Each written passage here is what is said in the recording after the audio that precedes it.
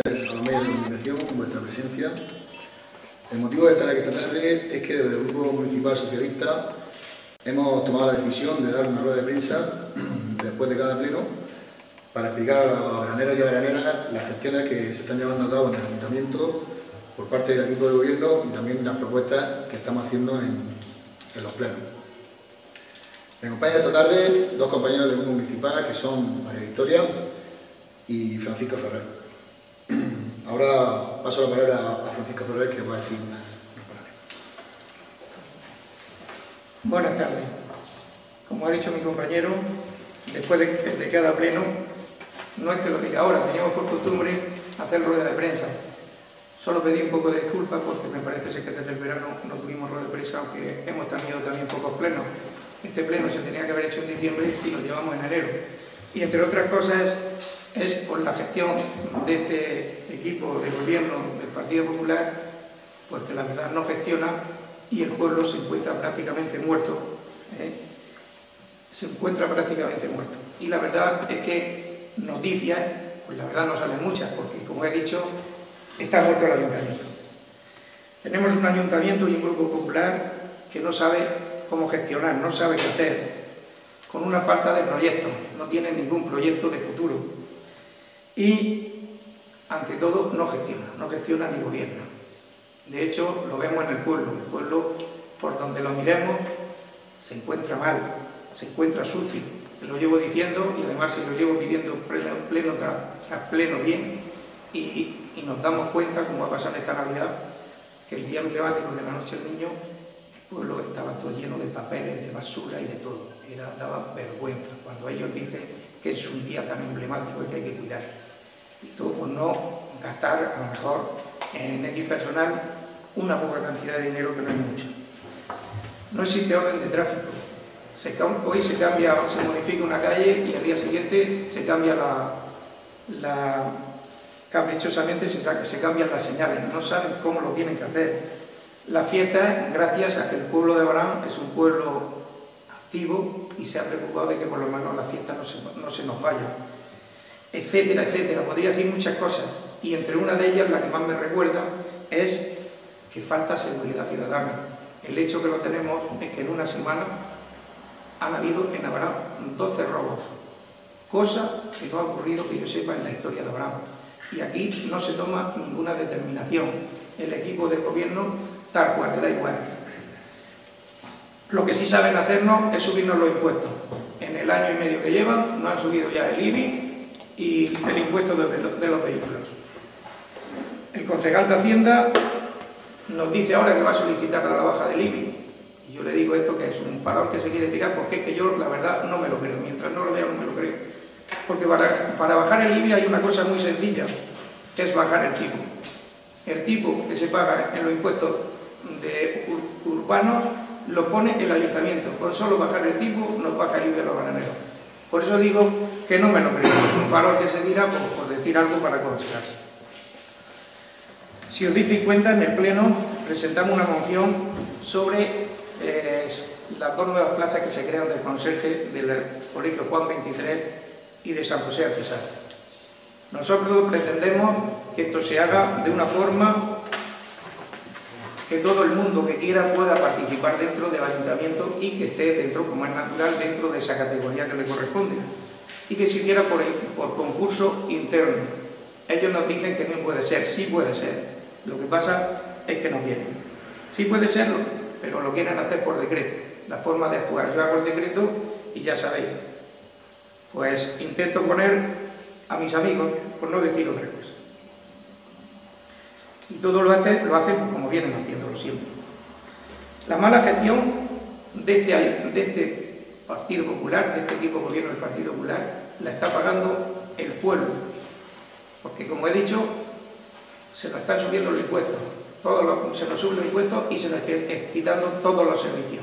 Cada día el pueblo de Abraham tiene menos servicios, tiene menos servicios de autobús, tiene menos servicios de, de deporte tiene menos servicio de todo. Y cada uno si quiere tener esos servicios se los tiene que pagar ellos. No existe ninguna subvención, porque eso no es rentable. Aquí solo vamos a lo que es rentable. Y hay otro, otra parte que lo están pagando también, que son los trabajadores. Los trabajadores que, como dijo el otro día, 10 compañeros de, la oposición no tienen culpa de la mala gestión que ha hecho, que está haciendo este equipo de gobierno del Partido Popular y la que hizo el anterior, en dejando endeudado al ayuntamiento. Y los trabajadores no son los culpables. ¿Y por qué se quejan? Pues porque se le está quitando, otra vez le vuelven a quitar la extra de junio y diciembre y la ayuda que habían conseguido, por no extenderme mucho, con el convenio. Y siempre intentan culpar a los demás. Siempre intentan culpar a los demás y se inventan las cosas y si os diste cuenta en el pleno dicen entre unas cosas que la concejala Rosa Martínez discrepa en el 30 o el 20% y que Francisco Ferrer dice que, le habían subido a la policía el año anterior. Y yo quiero decir una cosa, y además lo tengo aquí, que me he traído los últimos, la última acta de comisiones, para que veáis la forma que tienen que actuar. Cuando hacemos unas comisiones, no sé, nunca se ha puesto, hasta la fecha que yo haya visto, lo que se debate allí.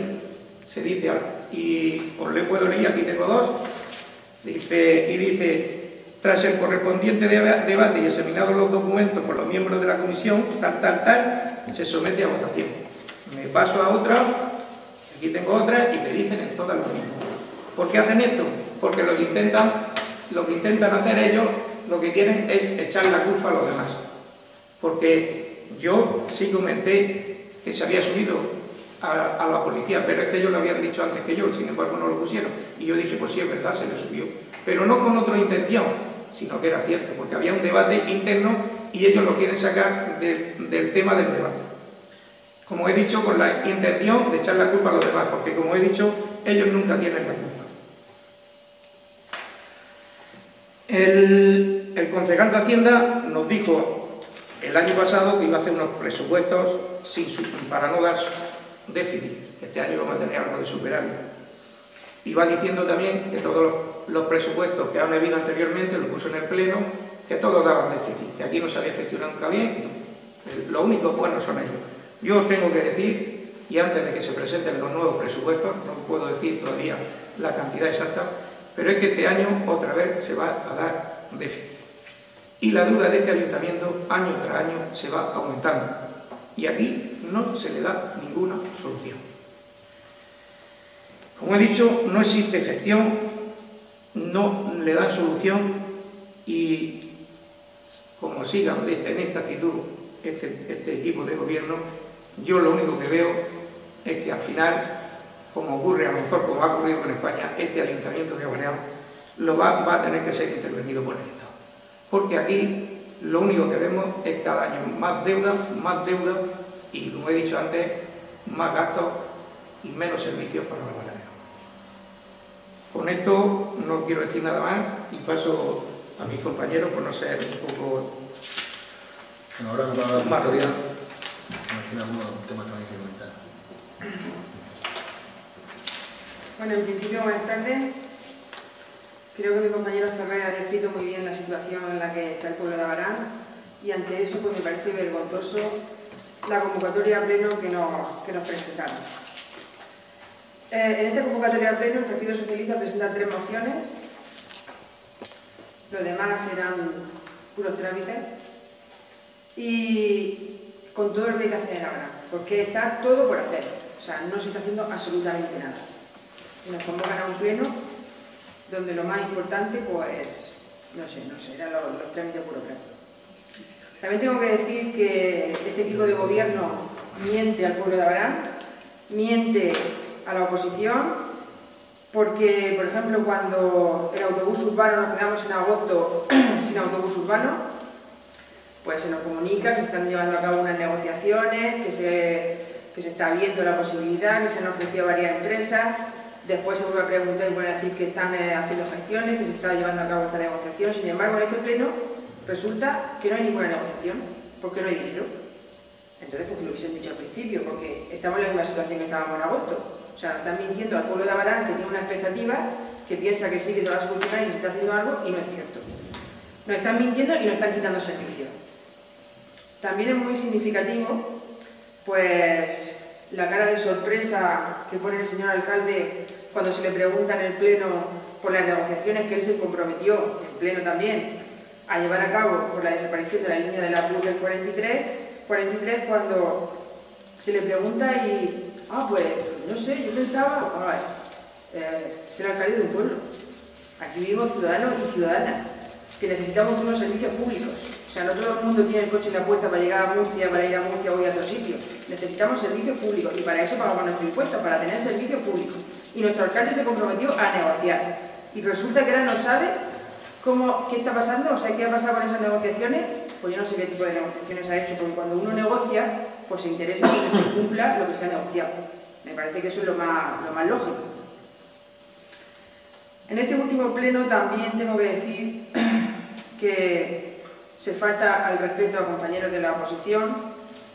Cuando estamos hablando, pues ellos están cuchicheando, riéndose y pasándose notitas como si estuvieran en el patio de un colegio, como si fueran críos de cinco años. Me parece que el pleno, estamos los representantes del pueblo, nos han elegido todos los que estamos allí en el pueblo, tanto unos como otros, y merecemos el respeto tanto de unos como de otros, cuando hablan unos como cuando hablan otros. Nosotros escuchamos y por lo menos deben de escucharnos. Mm, no se dedica a hacer nada, no hay propuesta encima de la mesa. A lo único que se están dedicando es a tapar el agujero que dejó la anterior legislatura. Es lo único que hacen. La palabra favorita de este equipo de gobierno es cuando se le hace alguna propuesta, cuando se le dice algo, tomo nota, lo estamos viendo y eso traducido al español, eh, me lo guardo en la cartera y me olvido porque hay un montón de cosas que se le han dicho, que se le han propuesto, que en pleno y están ahí grabadas, han dicho, sí, sí, vamos a verlo, vamos a hacerlo, esto, y luego nada de nada. Eso demuestra el interés que tienen por solucionar los, los problemas que tiene el pueblo de Abraham. La línea de autobús seguimos como estamos, no tenemos autobús urbano ni, ni se le espera, y, y así va pasando el tiempo, o sea, sin que solucione ningún problema. Si nos damos una vuelta por el pueblo, no hay que andar mucho y nos damos cuenta de todas las persianas que bajan, de todos los negocios que están cerrados, no se está activando la economía en este pueblo, lo único que hacen es quejarse y quejarse de que no hay dinero, pues para, si no hay dinero vamos a activar la economía, vamos a hacer algo, vamos a intentar solucionar algún problema. Lo que no se puede hacer, lo que está haciendo este equipo de gobierno es sentándose en una esquina y lamentándose. Así no se solucionan los problemas. Hay que salir, buscar soluciones y que piensen que para eso están gobernando ellos no reactiva la economía. No se hace nada eh, en ninguna concejalía. Tenemos, yo creo que una de las concejalías más importantes que debe de haber aquí en este municipio es la Concejalía de Agricultura. No se hace absolutamente nada, nada, no es que no hay ni, comunicados, ni notas de prensa, ni absolutamente nada, cuando aquí vivimos de la agricultura, nosotros somos un pueblo eminentemente agrícola. Y también tengo que, que decir que es muy significativo, por lo a mí me llama muchísimo la atención, cuando en el último pleno, que si no me equivoco, porque hace ya mucho tiempo, creo que fue en octubre, pues cuando yo nombraba la PAC, que es Política Agraria Común, el alcalde se vuelve y ¿qué dice? ¿Qué habla? Como si eso fuera japonés. Me parece que eso es algo gravísimo en un alcalde de un pueblo que vivimos de la agricultura y que no sepa de qué es la PAC. Eso me parece mm, gravísimo. Entonces yo pues no tengo nada más que decir.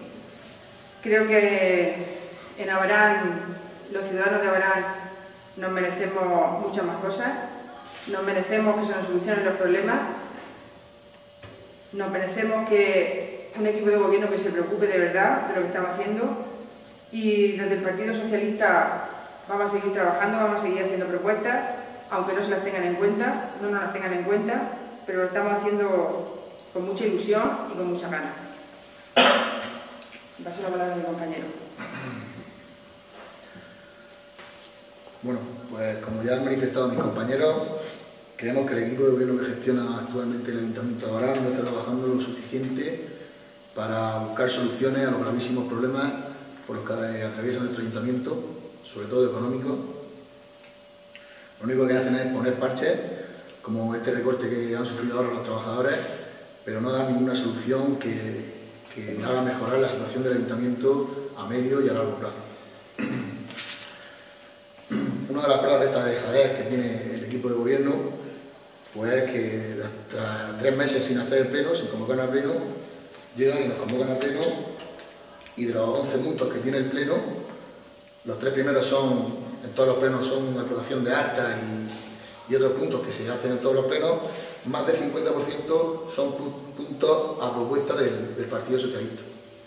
Aquí vemos cómo la dejadez que tiene el equipo de gobierno actual. También vemos cuando le hacemos preguntas en los plenos, le pedimos cosas ¿no? y ellos se comprometen, como ha dicho la compañera Victoria, se comprometen a hacerlo, pero en el último pleno, el pleno del pasado jueves, pues le volvimos a recordar que en el parque del de Barranco del Judío, por ejemplo, se están llevando eh, el material que hay allí, lo están robando, lo están deteriorando y eso se lo pedimos en octubre y a día de hoy todavía no se ha puesto solución a, estos problemas.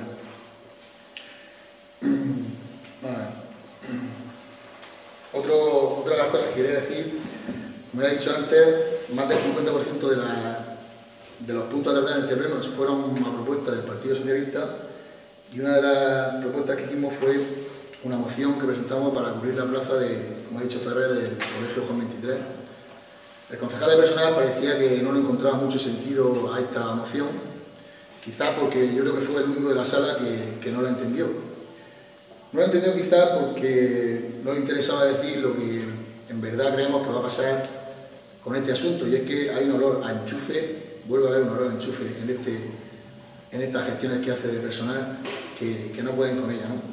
Nosotros, desde el Grupo Municipal, vamos a estar muy atentos a este proceso porque queremos que, vigilantes, porque queremos que, esta plaza segura pueda ser cubierta por cualquier, ya que no se pueden convocar oposiciones, puede ser cubierta por cualquier mm, trabajador del ayuntamiento, cualquier funcionario del grupo que, que sea.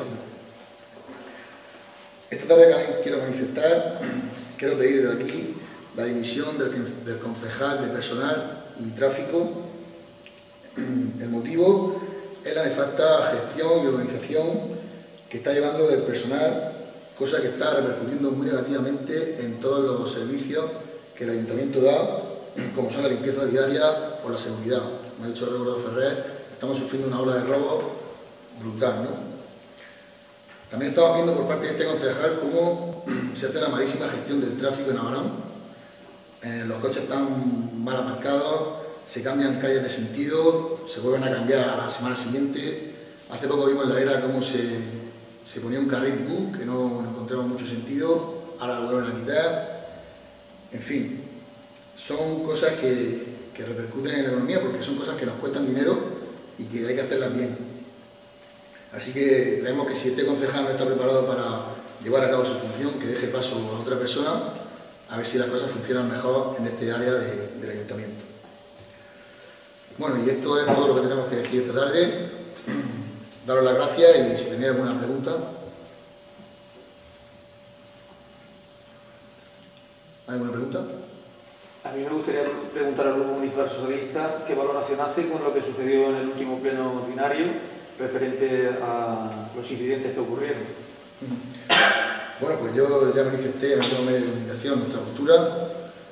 Creemos que, la actuación que tuvieron algunos trabajadores del, ayuntamiento no es la correcta, no, son formas de, protestar, ¿no? Creemos que es normal que estén enfadados, ¿no? Todo esto viene debido al caos que se está viviendo en el ayuntamiento, ¿no? Un caos brutal, Hace, tiempo nos cortaron la luz, ahora hay, pasan estos acontecimientos, en fin, todo eso se debe al caos que, estamos sufriendo, la mala gestión de, este equipo de gobierno. Pero claro, no, hay formas de, protestar que no se pueden tolerar y creemos que la actuación de, los trabajadores el otro día en el Pleno no, fue la correcta y creo que deben,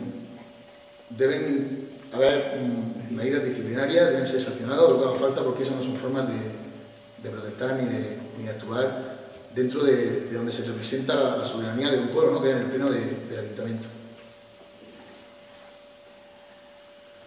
¿Algo más? Sí, yo quisiera preguntaros, porque habéis dicho que pedíais la división del concejal de personal. ¿No habéis pedido la división de ningún otro concejal, por ejemplo, la, agricultura o de algún otro concejalía? Bueno, pues nosotros creemos que en general la gestión que se está viendo en el ayuntamiento es nefasta, ¿no? No se está viendo nada con ninguna, ninguna área, pero esta quizás sea la que peor estamos viendo en este momento, ¿no? Como he dicho antes, mm, estamos viendo un caos en el área esta de personal y en el tráfico que no, que no se puede llevar, ¿no? Por eso creemos que este, que este hombre, el concejal de personal, no está, no está capacitado para llevar a cabo esta función, ¿no?